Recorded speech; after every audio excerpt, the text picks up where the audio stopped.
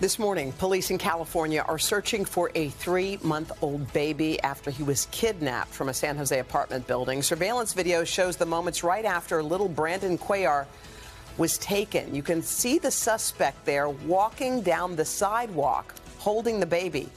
The baby's grandmother says she was outside just unloading groceries when someone walked into their apartment, snatched the boy, and took off. Anybody who recognizes that man is encouraged to call police. The FBI has, has been called in to assist with that investigation.